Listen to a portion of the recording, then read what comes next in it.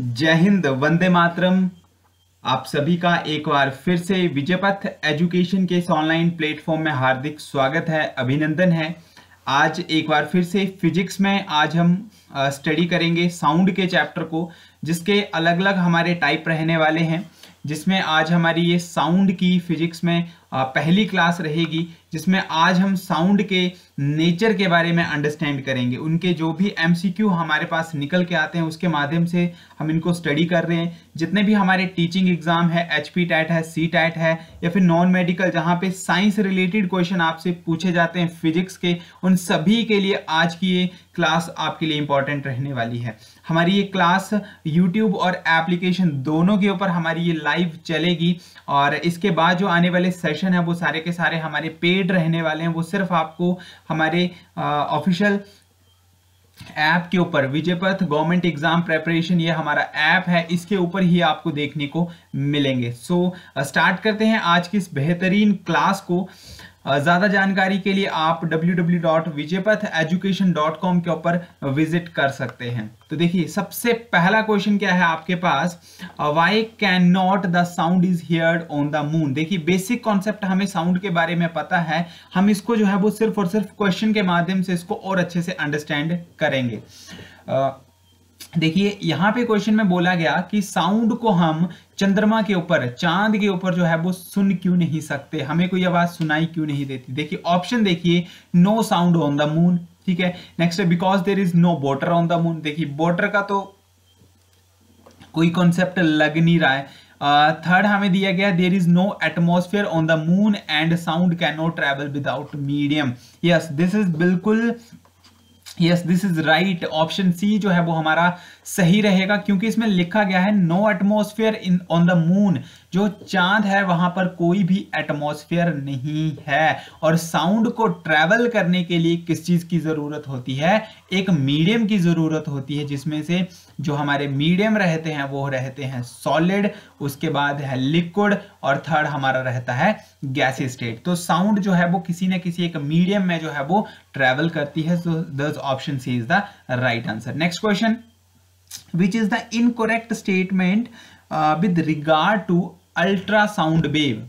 आपको यहाँ पे इनकोरेक्ट स्टेटमेंट जो है वो ढूंढनी है। अल्ट्रासाउंड से रिलेटेड अल्ट्रासाउंड वेव से रिलेटेड आपको ये यहाँ पे चीज़ जो है वो बतानी है। देखिए, पहला क्या दिया गया है? They are high frequency wave हाँ ये तो सही है, क्योंकि सबसे पहले अगर हम साउंड की बात करें तो सबसे पहले आती है हमारे पास इंफ्रा ठीक है, जिसकी रेंज आती है हमारे पास ज़ीरो से लेके कहाँ तक? ट्वेंटी हर्ट्स तक आती है। फिर आती है हमारे पास ऑडियोबल वेव जिसको हम सुनते हैं। वो आती है ट्वेंटी से लेके ट्वेंटी किलो हर्ट्स। ये आप सभी जानते हैं, बीस हज़ार हर्ट्स तक। और लास्ट में आती है अल्ट्रासाउंड तो अल्ट्रासाउंड की बीस हज़ार से ज़्यादा। इसका मतलब ये तो हाई फ्रीक्वेंसी वेव है, ये तो सही है। उसका है नेक्स्ट है they are use in industries and for medical purpose हाँ मेडिकल पर्पस में भी इसका यूज़ किया जाता है। अल्ट्रासाउंड वेव्स का यूज़ किया जाता है अल्ट्रासाउंड करने के लिए। एमआरआई जो हम करवाते हैं, अल्ट्रासाउंड है, सोनोग्राफी है, इन सभी में इसी प्रकार की वेव का यूज़ करते हैं तो ये भी हमारा सही है। नेक्स्ट है they travel among well defined path even a presence of obstructor हाँ ये भी बिल्कुल सही चीज़ आपको बताई गई है। कि जो अल्ट्रासाउंड वेव हम जो अल्ट्रासोनिक या फिर अल्ट्रासाउंड वेव है, वो एक वेल डिफाइंड पाथ में क्या करती है आगे घुस जाती है, ठीक है? मतलब कि अगर कोई इसके सामने अगर ऑब्स्टेकल आता है तो उस चीज़ को वो चेक कर सकती है। जैसे कि अगर कोई एक मेटल का ब्लॉक है, और उस मेटल के ब्लॉक के अंदर कोई एक दरार आ गई है तो हम इसको चेक कैसे करते हैं? यहाँ से हमने अल्ट्रासोनिक की कितनी वेव्स भेजी? तीन वेव भेजी, आप देख सकते हैं। लेकिन जब मेरे पास रिज़ल्ट आएगा तो सिर्फ़ दो ही निकलेंगी, क्योंकि जो थर्ड है, वो यहाँ पे टकरा जाएगी। ये कोई एक ऑब्स्टेकल है, ये दरार है, एक यहाँ पे टकरा जाएगी। तो इसका मतलब है, हम इसकी हेल्प से किसी एक ऑब्स्टेकल को भी चेक कर सकते हैं। तो ये भी हमारा सही है। नेक्स्ट देखिए option D ultrasound can not be reflect back from the defective location नहीं, ये चीज़ जो है, वो गलत है। अल्ट्रासाउंड जो है वो रिफ्लेक्ट बैक होके आती है, क्योंकि जो सोनार सिस्टम है, जो कि शिप्स में यूज़ किया जाता है, साउंड नेविगेशन एंड रेंजिंग जिसको हम कहते हैं तो ये हमारी अल्ट्रासोनिक के ऊपर ही डिपेंड करता है, जिसमें अल्ट्रासोनिक वेव जो है, वो उस ऑब्स्टेकल के साथ टकरा के जो है वो वापिस आती है। सो ऑप्शन डी जो है वो इस केस में इनकोरेक्ट रहेगा। ठीक है जी? ऑप्शन डी इस क्वेश्चन का राइट आंसर रहेगा। नेक्स्ट देखिए। The speed of sound dash as it passes from solid to gaseous medium तो आपको यहाँ पे बताना है कि जो स्पीड ऑफ़ साउंड है वो सॉलिड से जब गैसेस मीडियम में जाती है तो क्या करती है? घटती है या फिर बढ़ती है? आपको उसकी उसकी फॉर्म बतानी है कि वो क्या चेंज होती है या फिर चेंज नहीं होती तो देखिए स्पीड ऑफ़ साउंड जो है, वो सबसे ज़्यादा किसमें होगी? सॉलिड में होगी। सॉलिड के बाद लिक्विड लिक्विड के बाद किसमें? गैसेज में होगी। इसका मतलब सॉलिड में सबसे ज़्यादा और गैसेज में सबसे कम। तो जब मैं सॉलिड से गैसेस स्टेट में जाऊँगा तो इसका मतलब है मेरी जो स्पीड है वो क्या हो रही है? कम हो रही है, डिक्रीज हो रही है। तो यहाँ पर भी ये बोला गया सॉलिड टू गैसेस मीडियम इसका मतलब डिक्रीज होगी तो राइट ऑप्शन ऑप्शन डी जो है वो हमारा बिल्कुल सही रहेगा। नेक्स्ट देखिए which of the following is use to detect cracks and flaws in metal block ये देखिए, मैंने पहले ही आपको बता दिया, अगर कोई मेटल ब्लॉक है, उसके अंदर अगर कोई क्रैक्स है तो हम किस चीज़ का यूज़ करते हैं? ये मेरे पास कोई एक लोहे का कोई एक पीस है, ठीक है? अब बाहर से तो ये प्लेन है, लेकिन अंदर मान के चलते हैं, यहाँ पे कोई एक दरार है तो इसका चेक कैसे करते हैं? हमने अल्ट्रासोनिक वेव भेजी, एक, दो, तीन, चार, पाँच। अब देखिए, मैंने कितनी भेजी? पाँच भेजी। लेकिन ये वेव डायरेक्ट आ जाएगी, ये वेव जो है, वो यहाँ पे टकरा जाएगी। ये क्या करेगी? इस दरार के साथ टकरा गई तो आगे नहीं जाएगी। ये भी टकरा जाएगी। ये डायरेक्ट पास आ जाएगी। अब देखिए इनपुट में मैंने कितनी भेजी? पाँच। आउटपुट में मेरे पास कितनी आई? तीन। इसका मतलब है कि कहीं ना कहीं पे जो वो दो वेव्स हैं, वो कहीं ना कहीं पे टक्कर आ गई हैं। तो किसकी हेल्प से हम किसी चीज़ का पता कर सकते हैं कि उसके अंदर कोई क्रैक है या फिर नहीं है? तो हम यूज़ करते हैं अल्ट्रासोनिक वेव या फिर अल्ट्रासाउंड हम इसको कहते हैं। सो ऑप्शन बी जो है वो इसका राइट आंसर रहेगा। नेक्स्ट देखिए क्वेश्चन नंबर फिफ्थ हमारा ये रहेगा। Through which of the following medium can can sound not travel, sound उसमें ट्रैवल नहीं करनी चाहिए। तो हमने पहले तो ये जान लिया कि साउंड को ट्रैवल करने के लिए किस चीज़ की ज़रूरत होती है? मीडियम की ज़रूरत होती है। ये हमने पहले से ही पढ़ लिया, ठीक है? मीडियम की ज़रूरत होती है। अब मीडियम कौन सा हो सकता है? सॉलिड हो सकता है, लिक्विड हो सकता है, गैस हो सकता है। अब देखिए, स्टील जो है, ये तो सॉलिड है, इसमें तो साउंड जाएगी। एयर क्या है? एक गैस है, इसमें भी साउंड जाएगी। मिल्क क्या है? एक लिक्विड फॉर्म है, उसमें से भी हमारी साउंड पास आउट हो जाएगी। लेकिन वैक्यूम वैक्यूम का मतलब होता है जहाँ पे कोई भी पार्टिकल नहीं है। वहाँ पे गैसेस का कोई भी पार्टिकल नहीं है ना। कोई और उसमें चीज़ है, जैसे कि मून है। तो मून में क्या है? एटमॉस्फेयर ही नहीं है। वहाँ पे हम क्या बोलेंगे कि ये वैक्यूम है। तो वैक्यूम में हमारी साउंड ट्रेवल नहीं करेगी, इसलिए ऑप्शन बी इस क्वेश्चन का बिल्कुल सही आंसर रहेगा। अगला नेक्स्ट क्वेश्चन देखिए sound wave can not travel in the sound wave किसमें ट्रेवल नहीं करती है। अब देखिए, जो भी मैं यहाँ पे आपसे क्वेश्चन यहाँ पे पुटअप कर रहा हूँ, वो कहीं ना कहीं पे एक या दो क्वेश्चन बार बार आपके रिपीट होंगे। वो इसीलिए मैंने रेपिटेशन की फॉर्म में रखे गए हैं, ताकि आपका जो प्रेजेंस ऑफ़ माइंड है, आप डायरेक्ट उस क्वेश्चन को हिट कर सकें। क्वेश्चन पूछने का तरीका अलग हो सकता है, लेकिन आपकी जो क्वेश्चन की फॉर्म है, उसको अंडरस्टैंडिंग करने का जो तरीका, वो आपका एक ही होना चाहिए। साउंड वेव किसमें ट्रेवल नहीं करती? अभी मैंने आपको बताया किसमें ट्रेवल नहीं करती है।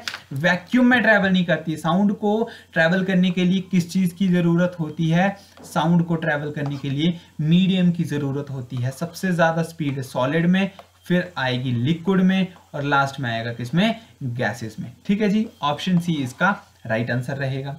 Next question which of the following are false इसमें से कौन सी चीज़ जो है वो गलत है? गलत आपको बताना है। Sound wave are dash waves sound wave को कौन सी वेव के नाम से हम जानते हैं, ये आपको यहाँ पे बताना है देखिए, काफ़ी इंटरेस्टिंग क्वेश्चन यहाँ पे है और थोड़ा सा लॉजिकल क्वेश्चन है। ठीक है? Sound wave are pressure wave नहीं। साउंड वेव को हम प्रेशर वेव नहीं बोल सकते, क्योंकि साउंड और प्रेशर का कोई रिलेशन नहीं है। साउंड जो है, वो प्रेशर के साथ रिलेट ही नहीं करती। साउंड सिर्फ़ और सिर्फ़ रिलेट करती है किस क्वांटिटी के साथ? टेम्परेचर के साथ। साउंड अगर सॉरी टेम्परेचर को अगर बढ़ाते हैं तो साउंड भी की भी जो रेंज है वो क्या करेगी? स्पीड जो है वो बढ़ेगी। अगर टेम्परेचर को कम करते हैं तो साउंड की जो स्पीड है वो भी क्या होगी? कम होगी। तो प्रेशर तो इसका आंसर नहीं है। अब ये तीनों के तीनों जो इसके नेक्स्ट जो इसमें ये बताया गया है, यहाँ पे ये काफ़ी इंटरेस्टिंग सी चीज़ें हैं। ठीक है? इंटरेस्टिंग है क्योंकि जो साउंड वेव है उसको हम लॉन्गिट्यूडनल भी बोलते हैं मैकेनिकल भी बोलते हैं इलेक्ट्रोमैग्नेटिक भी बोलते हैं। ठीक है? अब यहाँ पे थोड़ा सा एक इंटरेस्टिंग फिनोमिना है। एक बार आप इस क्वेश्चन को थोड़ा अच्छे से अंडरस्टैंड करें कि हम ऑप्शन बी सी या डी में से किस को जो है वो हम करेक्ट जो है वो बता सकते हैं।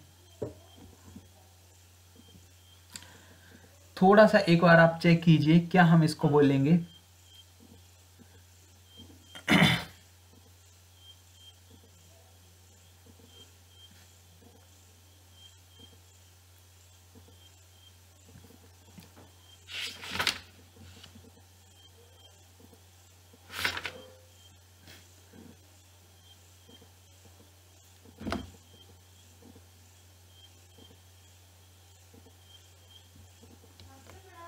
ठीक है जो क्वेश्चन हमारे पास दिया गया है, वो एक बार आप चेक कीजिए कि क्या हम इसको बोल सकते हैं। लॉन्गिट्यूडनल बोलेंगे इलेक्ट्रोमैग्नेटिक बोलेंगे या फिर मैकेनिकल बोलेंगे?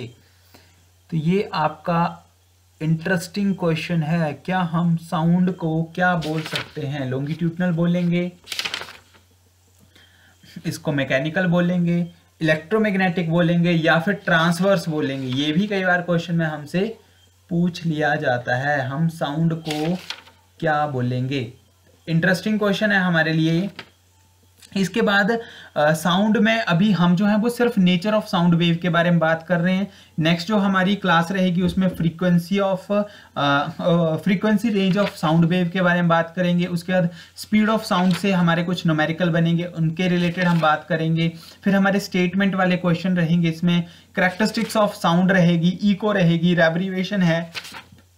और लास्ट में रेडार एंड सोनार के हमारे कुछ क्वेश्चन रहेंगे। तो साउंड से रिलेटेड लगभग पाँच से छह क्लासेस जो हैं वो आपकी टोटल टोटल रहने वाली हैं और आपके लिए मोस्ट इंपॉर्टेंट चैप्टर जो है ये रहेगा।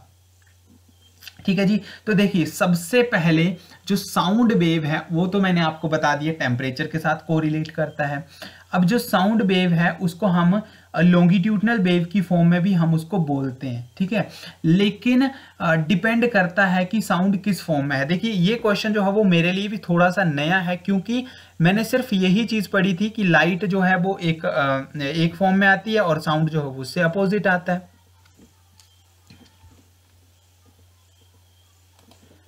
तो ये थोड़ी सी नई चीज़ है मेरे लिए भी, क्योंकि जो साउंड वेव है, उसको हम लॉन्गिट्यूडनल भी बोलते हैं और उसको एज अ ट्रांसवर्स वेव में भी उसको काउंट किया जाता है। अभी तक अगर जितनी भी अभी तक मेरी स्टडी हुई है, उसमें सिर्फ़ मैंने यही चीज़ पढ़ी थी कि लाइट जो है, उसको हम क्या कहते हैं ट्रांसवर्स वेव कहते हैं और साउंड को हम क्या कहते हैं लॉन्गिट्यूडनल वेव करते हैं, कहते हैं। लेकिन थोड़ी सी एक एक्स्ट्रा जानकारी मैं आपको दूँगा। Sound is only the form of longitudinal wave ठीक है साउंड जो है वो सिर्फ़ एक लॉन्गिट्यूडनल उसमें वेव में ही काउंट की जाती है, लेकिन जब वो एयर और या फिर गैसेस से पास आउट होती है तब, लेकिन जब वो सॉलिड और लिक्विड या फिर सॉलिड लिक्विड बोथ से जब वो ट्रेवल की जाती है तो उसका behaviour as a transverse plus longitudinal दोनों के दोनों शो करते हैं। तो थोड़ी सी नई चीज़ आपको मैं यहाँ पे जो है वो बता रहा हूँ। एक बार फिर से मैं रिपीट करता हूँ। मैंने आपको ये बताया कि जो लाइट है वो कौन सा नेचर शो करती है? ट्रांसवर्स नेचर शो करती है। मतलब कि उसकी जो वेव है उसके पार्टिकल के परपेंडिकुलर होंगी और जो हमारी एक साउंड है वो एक लॉन्गिट्यूडनल में आ, उसको वेव माना जाता है। यानी कि वो पैरलर फॉर्म में चलेंगी। एक परपेंडिकुलर होता है, एक पैलर होता है, ये हम सभी जानते हैं।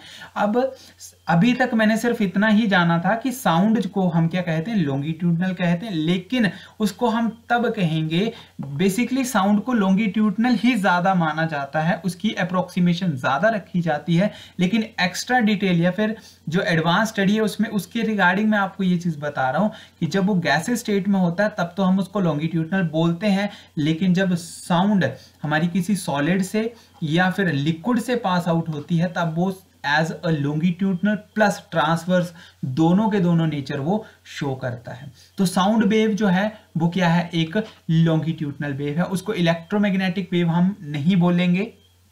क्योंकि इलेक्ट्रोमैग्नेटिक वेव के लिए ट्रैवल करने के लिए किसी एक मीडियम की जो है वो ज़रूरत रहती है। तो साउंड जो है वो विदाउट मीडियम हमारा सॉरी इलेक्ट्रोमैग्नेटिक वेव जो है हाँ उस electromagnetic wave that require medium of transmission ठीक है? उसको एक मीडियम हाँ, की ज़रूरत होती है। हम इसको इलेक्ट्रोमैग्नेटिक नहीं बोलेंगे इसको हम बोलेंगे एज अ लॉन्गिट्यूडनल वेव ठीक है? एज अ लॉन्गिट्यूडनल वेव और हम इसको एक मैकेनिकल वेव भी यहाँ पे बोल सकते हैं। तो बी एंड डी जो है, वो बोथ हमारे ऑप्शन के रहेंगे करेक्ट रहेंगे। थोड़ी सी टाइपिंग एरर है यहाँ पे। यहाँ पे आई थिंक लॉन्गिट्यूडनल की जगह जो था, वो ट्रांसवर्स वेव जो था, वो होना था। ऑप्शन बी एंड डी जो है, वो बोथ हमारे इसके करेक्ट आंसर रहेंगे। नेक्स्ट देखिए which of the following is not a quality of sound wave sound wave की क्वालिटी नहीं है। तो एम्पलीट्यूड ये साउंड वेव में आता है। अब देखिए साउंड वेव को थोड़ा सा अंडरस्टैंड करते हैं। ये कोई एक वेव है, यहाँ से जा रही है, ठीक है? इस तरीके से कोई साउंड वेव जो है, वो जाती है। ये ज़ीरो से चली, ये इसका एक हाफ़ कंप्लीट हो गया, इस पॉइंट के ऊपर ए पॉइंट के ऊपर एक हाफ़ कंप्लीट बी के ऊपर दूसरा। ये पॉजिटिव से जा रही है, ये नेगेटिव से जा रही है, ठीक है? यहाँ तक तो आपको पता है। अब जो मैक्सिमम हाइट यहाँ पे अटेन की जाती है किसी वेव के द्वारा यहाँ से डिस्टेंस को हम क्या बोलते हैं? एम्पलीट्यूड बोलते हैं, ठीक है? एप्टीट्यूड बोलते हैं। और यहाँ से लेके यहाँ तक, जब एक साइकिल हमारी कंप्लीट होती है, उसको हम फ्रीक्वेंसी के नाम से जानते हैं। या फिर जब ये ऊपर वाले जो मेन हाईएस्ट पॉइंट है क्रस्ट क्रस्ट या फिर जो नीचे वाले हमारे डाउन वाले हाईएस्ट पॉइंट है, या फिर ट्रफ ट्रफ इनके बीच के डिस्टेंस को हम क्या कहते हैं? वेव लेंथ कहते हैं। तो देखिए क्वालिटी ऑफ़ साउंड वेव में कौन सी यहाँ पे चीज़ नहीं है? एप्टीट्यूड सॉरी एम्पलीट्यूड तो होगा, ठीक है? उसके बाद टाइम पीरियड एंड फ्रीक्वेंसी ये भी होगा साउंड की स्पीड भी होती है, ये भी होगा, लेकिन डेंसिटी जो है वो इससे कोरिलेट नहीं कर रहा है, इसलिए ऑप्शन डी जो है वो इसका क्या रहेगा? राइट आंसर रहेगा। नेक्स्ट क्वेश्चन देखिए। Which of the following is the time taken for a complete oscillation of a sound wave in the density of the medium ठीक है, आपको बताना है इनमें से कौन सा हमारा राइट ऑप्शन रहेगा which of the following is the time taken for a complete oscillation of a sound wave in the density of medium उसको हम क्या कहेंगे? जब एक पूरा एक ऑसिलेशन जो है वो कंप्लीट हो जाता है किसी दिए हुए टाइम में, ठीक है, उसको हम क्या कहते हैं? ये यहाँ पे बताना है। ठीक है तो उसको हम क्या कहेंगे? टाइम पीरियड कहेंगे। कितने टाइम में? टाइम पीरियड के नाम से हम उसको बता देंगे, ठीक है? फ्रीक्वेंसी इसका राइट आंसर नहीं होगा, क्योंकि frequency cycle per unit time होता है, ठीक है? साइकिल जितने साइकिल कंप्लीट की, कितने टाइम में, उसको हम फ्रीक्वेंसी कहते हैं, इसलिए ऑप्शन ई टाइम पीरियड जो है इसका राइट आंसर रहेगा। Next question sound can transmit from sound किससे ट्रांसमिट हो सकती है? पहले ही मैंने आपको बता दिया ऑप्शन दिए गए हैं सॉलिड लिक्विड गैस या फिर ऑल ऑप्शन तो ऑप्शन डी जो है वो इसका क्या रहेगा? राइट right आंसर है, क्योंकि सॉलिड से भी पास आउट हो जाती है लिक्विड से भी पास आउट हो जाती है और गैसेस से भी पास आउट हो जाती है। सॉलिड में सबसे ज़्यादा स्पीड उसके लिक्विड में उससे कम होगी और गैसेस में उससे भी कम होगी। नेक्स्ट क्वेश्चन देखिए at what stage should the medium require for transmission of gas कौन सा मीडियम जो है वो उसके लिए होना चाहिए? देखिए, मैंने पहले आपको बता दिया क्वेश्चन पूछने का तरीका अलग है, लेकिन बात मैं वही चीज़ आपको यहाँ पे बार बार बता रहा हूँ। रेपिटेशन में कुछ क्वेश्चन आएँगे, क्योंकि आपके बेस को यही चीज़ें जो है वो क्लैरिफाई करेंगी। At what stage should the medium require for transmission of solid solid gas fluid या फिर ऑल ऑफ़ दिस तो मीडियम कौन सा होना चाहिए? सॉलिड में भी ट्रेवल करता है गैस भी एक मीडियम है फ्लूड यानी कि लिक्विड भी मीडियम है, इसलिए option D all of these इसका जो है वो राइट right आंसर रहेगा।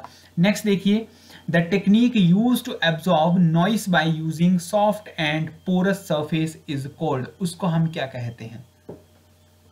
The technique use to absorb noise ऐसी कौन सी टेक्निक है जिसकी हेल्प से हम क्या करते हैं? साउंड को हम क्या करते हैं? एब्जॉर्ब कर लेते हैं।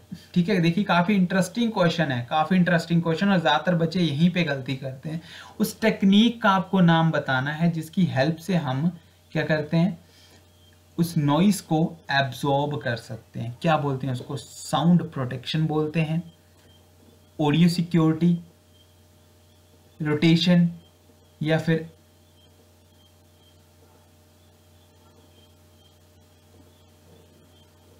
एब्जॉर्प्शन बताइए क्या इसका जो है वो राइट आंसर रहेगा? तो इन चार ऑप्शन में से हमें जो है वो बताना है कि ऐसी कौन सी टेक्निक है जिसका हम यूज़ करते हैं साउंड को एब्जॉर्व करने के लिए। तो उसका जो राइट right आंसर आपका रहेगा वो है option number A sound protection ठीक है? क्या इसका राइट right आंसर रहेगा? साउंड प्रोटेक्शन एक ऐसी टेक्निक है जिसकी हेल्प से हम एब्जॉर्व करते हैं नॉइस को by using soft and porous surface ठीक है? मतलब कि हम उस साउंड को क्या करते हैं एब्जॉर्व कर लेते हैं, जैसे थिएटर वगैरह में होता है, ठीक है? तो उसको हम क्या कहते हैं साउंड प्रोटेक्शन उस प्रोसेस को, उस टेक्निक को हम क्या कहते हैं साउंड प्रोटेक्शन कहते हैं। जैसे कि कोई एक हॉल है, ठीक है, एक मल्टीप्लेक्स है जिसमें जैसे कि थिएटर है सिनेमा हॉल है। अब वहाँ पे इतना ज़्यादा लाउड वो आपको मूवी दिखाई जाती तो उसके जो पर्दे होते हैं या फिर उसकी जो सीलन होती है, उसकी उसकी जो फ्लोरिंग की होती है या फिर उसके अंदर जो भी कुर्सियाँ लगाई जाती हैं, वो ज़्यादा क्या होती हैं? सॉफ्ट होती हैं, यानी कि रुई वाली या फिर फाइबर वाली चीज़ें हैं, ताकि वो नॉइस को क्या कर लें? एब्जॉर्व कर लें। तो उस टेक्निक को क्या कहा जाता है? साउंड प्रोटेक्शन कहा जाता है। Option A is the right answer next question है वट कॉजेज साउंड तो साउंड का डायरेक्ट रिलेशन किससे है? ये आपको बताना है। रिफ्रैक्शन वाइब्रेशन रिफ्लेक्शन या फिर रोटेशन तो देखिए साउंड का जो डायरेक्ट रिलेशन है, वो है वाइब्रेशन से। जैसे कि मैं किसी भी चीज़ को जब हिट करता हूँ, ठीक है? जैसे कि मैंने, आप यहाँ पे आवाज़ सुनिएगा। मैंने हिट किया। अब मैं क्या कर रहा हूँ? एक पेन से एक कॉपी के ऊपर जो वो मार रहा हूँ। तो जब वहाँ से वाइब्रेशन निकलेगी तो उसकी वजह से क्या प्रोड्यूस होगी? साउंड प्रोड्यूस होगी। तो इसका मतलब साउंड का डायरेक्ट रिलेशन किससे है? वाइब्रेशन से है। साउंड जो है, वो एक क्या है? फॉर्म ऑफ़ एनर्जी है, जो कि वाइब्रेशन से क्या होती है? प्रोड्यूस होती है और हमारे कानों तक पहुँचती है। ठीक है? Option B is the right answer next question देखिए। Compression and rarefaction are due to variability of किसकी वजह से होता है? तो कंप्रेशन एंड रिफ्रैक्शन किसकी वजह से होता है? रे रिफ्रैक्शन की वजह से मैग्नेटिक डिफरेंस की वजह से टेम्परेचर की वजह से या फिर एयर प्रेशर की वजह से? ये आपको बताना है। यानी कि कंप्रेशन मतलब कि वो चीज़ कंप्रेस हो जाती है। जैसे कि स्प्रिंग होता है। अगर मैं नॉर्मल स्प्रिंग की बात करूँ, इस तरीके का हमारा नॉर्मल स्प्रिंग होता है। कंप्रेशन का मतलब है कि हमने उसको क्या कर दिया? बिल्कुल कंप्रेस कर दिया। बिल्कुल टाइट कर दिया। ठीक है? या फिर रियर फैक्शन का मतलब कुछ इस तरीके से है। ठीक है? काफ़ी ज़्यादा उस बेब में क्या रहेगा?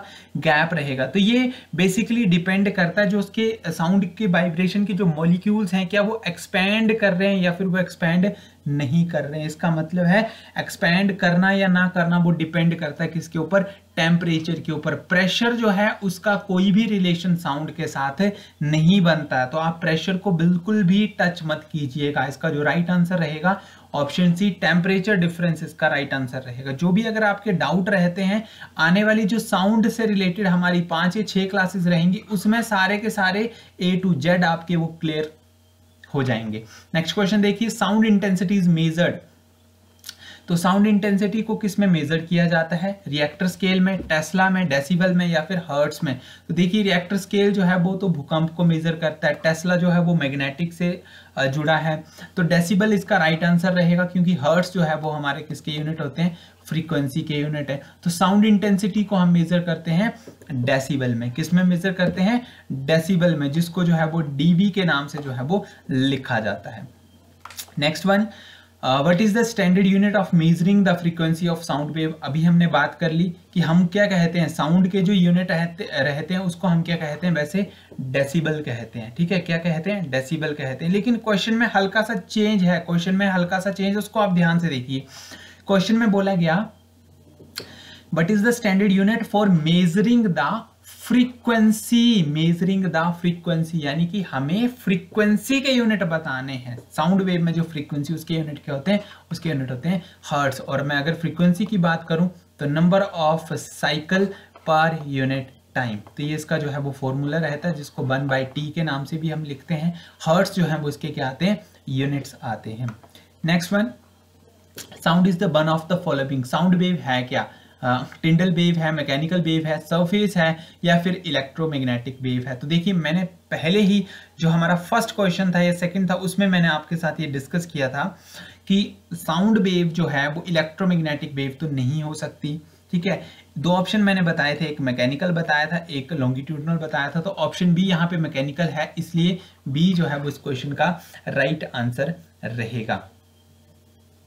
ठीक है? मैकेनिकल वेव को जो है वो ट्रैवल करने के लिए एक ट्रांसपोर्ट या फिर मीडियम की ज़रूरत होती है। वैसे ही साउंड वेव को भी ट्रैवल करने के लिए एक मीडियम की ज़रूरत है और ये एक फॉर्म ऑफ़ एनर्जी है, इसलिए इसको मैकेनिकल वेव के नाम से जानते हैं। Next one when the sound passes through the air the particle of air जब साउंड एयर से पास की जाती है तो वो जो पार्टिकल हैं, उनके रिलेटेड आपको चीज़ जो है वो बतानी कि कौन सा ऑप्शन सही है? Vibrate in the direction of propagation of wave क्या वो उसी डायरेक्शन में प्रोपेगेट करते हैं? ये आपको बताना है। डोंट वाइब्रेट प्रोपेगेट नहीं करते हैं। Vibrate but not in the certain direction उस डायरेक्शन में वो प्रोपेगेट नहीं करते हैं। और उसके क्या बोला है last one is the perpendicular to the direction of propagation ठीक है। चार ऑप्शन इन्होंने दे दिए। ठीक है। अब मैंने आपको एक चीज़ बताई थी कि साउंड वेव को हम लॉन्गिट्यूडनल वेव कहते हैं। और लॉन्गिट्यूडनल वेव में जो डायरेक्शन रहती है, वो कैसी रहती है? बिल्कुल पैलर रहती है। ठीक है? ट्रांसवर्स के केस में क्या होता है?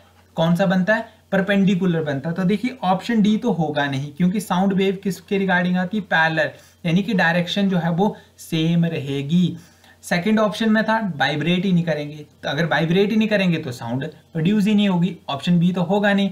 ऑप्शन सी में बोला था वाइब्रेट होंगे, लेकिन उस डायरेक्शन में नहीं होंगे। तो देखिए साउंड वेव जो है वो लॉन्गिट्यूडनल वेव है। इसका मतलब है सेम डायरेक्शन वो पैरलर में जाते हैं, इसलिए ऑप्शन ए हमारा सही रहेगा। ऑप्शन ए में बताया गया कि vibrate in the direction of propagation of the wave उसी डायरेक्शन में जाएँगे, जिस डायरेक्शन में हमारी वाइब्रेशन जा रही है, उसी डायरेक्शन में हमारी वेव जा रही है। तो ऑप्शन ए जो है वो इसका राइट right आंसर रहेगा। Next question sound is the form of dash wave that produce hearing तो हम साउंड वेव को किस नाम से जानते हैं कि वो क्या प्रोड्यूस करे? हियरिंग को प्रोड्यूस करे। तो साउंड को हम बेसिकली जानते हैं किस वेव से? मैकेनिकल मैकेनिकल वेव से। ये हमने, इसके तीन या चार क्वेश्चन हमने मैकेनिकल के पढ़ लिए हैं तो ऑप्शन बी हमारा राइट right आंसर रहेगा। नेक्स्ट क्वेश्चन देखिए what are the sound wave in the air sound wave in the air ये काफ़ी अच्छा क्वेश्चन यहाँ पे बताया गया है कि साउंड वेव को हम किस चीज़ से जानते हैं? तो मैंने पहले ही आपको बता दिया साउंड वेव लोंगिट्यूटनल और ट्रांसफर्स बोथ बिहेवियर शो करता है। एयर में वो जाएगा लोंगिट्यूटनल में सॉलिड लिक्विड में जाएगा लोंगिट्यूटनल प्लस ट्रांसफर्स बोथ लेकिन जो आपने मेजोरिटी देनी है, वो किस केस के लिए देनी है, वो आपने देनी है लॉन्गिट्यूटनल के लिए। सो ऑप्शन सी जो है, वो इस क्वेश्चन का राइट right आंसर रहेगा। और लॉन्गिट्यूटनल में आपने ध्यान में रखना है कि जो डायरेक्शन है, वो कैसी रहेगी? बिल्कुल पैलर रहेगी। और ट्रांसवर्स के केस में क्या होता है? डायरेक्शन हमारी परपेंडिकुलर हो जाती है। लास्ट क्वेश्चन है आज की इस क्लास का। Sound wave travel on following तो किसमें ये ट्रेवल करता है? फ़र्स्ट ऑप्शन दिया गया different speed in different medium second है same speed in different medium third ten metre second in wood और लास्ट है speed in a single medium देखिए लास्ट ऑप्शन से स्टार्ट करते हैं स्पीड इन सिंगल मीडियम की बात की गई है तो ये तो हमारा गलत है, क्योंकि हर किसी मीडियम में क्या होती है स्पीड अलग होती है। मैंने पहले बताया था सॉलिड में स्पीड ज़्यादा होगी लिक्विड में थोड़ी कम, और गैसेज में उससे भी कम होगी। 10 मीटर सेकंड इन वुड तो देखिए, यहाँ पे टेन टेन एक्यूरेट हो सकता है, लेकिन यूनिट हमारे गलत हैं, क्योंकि स्पीड के यूनिट क्या होते हैं? मीटर पर सेकंड होते हैं। मीटर सेकंड दिया तो ऑप्शन सी भी नहीं होगा। Same speed in different medium देखिए मीडियम अगर डिफरेंट है तो स्पीड भी क्या होगी? डिफरेंट होगी। ऑप्शन बी नहीं आएगा। ऑप्शन ए हमारा इस क्वेश्चन का बिल्कुल राइट आंसर रहेगा। तो ये हमने बिल्कुल बेसिक से क्वेश्चन अभी सिर्फ़ हमने नेचर ऑफ़ साउंड वेव के बारे में जो है वो बात की है सिर्फ़ और सिर्फ़ साउंड के नेचर के बारे में अभी हमने पढ़ा और नेचर में दो चीज़ें हमने मेन जानी। पहली है मैकेनिकल वेव और दूसरा है लॉन्गिट्यूडनल वेव तो इन दोनों को आप अपने माइंड में रखें। अभी सिर्फ़ बेसिक सी चीज़ें इसमें स्टार्ट हुई हैं। अभी नेचर ऑफ़ साउंड वेव के बारे में डिस्कस किया। उसके बाद सेकेंड चैप्टर हमारा रहेगा frequency range of sound wave उसके बाद स्पीड ऑफ़ साउंड का एक चैप्टर तीसरा, उसके चौथा चैप्टर हमारे पास रहेगा करेक्टरिस्टिक्स ऑफ़ साउंड पांचवा रहेगा इको उसके बाद लास्ट हमारा रहेगा सोनार एंड रेडार का चैप्टर तो टोटल छह चैप्टर आपको मिलेंगे। उसमें डिफरेंट टाइप के जो हमारे H P TET C TET या फिर जितने भी हमारे अदर जो साइंस से रिलेटेड हमारे एग्ज़ाम रहते हैं चाहे वो एंट्रांस एग्ज़ाम हो या फिर आप हिमाचल के किसी एग्ज़ाम की तैयारी कर रहे हैं जिसमें साइंस के नोमेरिकल पूछे जाते हैं उनके लिए भी यहाँ पे नोमेरिकल जो है वो इस क्लास में करवाए जाएँगे। तो अभी सिर्फ़ फ़र्स्ट क्लास हमारी हुई है। ज़्यादा जानकारी के लिए आप जो है वो हमारे विजयपथ ऐप को डाउनलोड करें। प्ले स्टोर के ऊपर आप जाइए विजयपथ गवर्नमेंट एग्ज़ाम प्रेपरेशन आप सर्च कीजिए आपको इस तरीके का जो आ, प्लेटफॉर्म है, आपको वो देखने को मिलेगा। आप डाउनलोड कीजिए और चेक कीजिए कि आप किस लेवल की तैयारी जो है वो आप चाहते हैं। इसमें डिफरेंट हमारे पेड कोर्सेज या फ्री क्लासेस को आप ज्वाइन कर सकते हैं, जो आपके डिफरेंट एग्ज़ाम को पार कराने में काफ़ी हेल्पफुल रहेगी। जो आने वाली हमारी क्लासेस हैं, वो सिर्फ़ और सिर्फ़ हमारे पेड बैचेस के लिए रहेगी। ये क्लास हमारी सिर्फ़ एप्लीकेशन और यूट्यूब दोनों के ऊपर अप्लाई है। सभी यूज़र्स के लिए अभी तक ये फ्री है, लेकिन आने वाली क्लासेस हमारी सिर्फ़ और सिर्फ़ पेड क्लासेस ही रहेंगी। तो जितने भी हमारे साइंस के कोर्सेज हैं, उनमें आपको ये क्लास देखने को मिलेगी। ज़्यादा जानकारी के लिए बैचेज के लिए आप डब्ल्यू के ऊपर जा सकते हैं, या फिर हमारे इस हेल्पलाइन नंबर के ऊपर भी कॉन्टैक्ट कर सकते हैं। जल्दी ही एक नई क्लास के साथ मैं आपसे मिलूँगा। तब तक के लिए जय हिंद, जय भारत।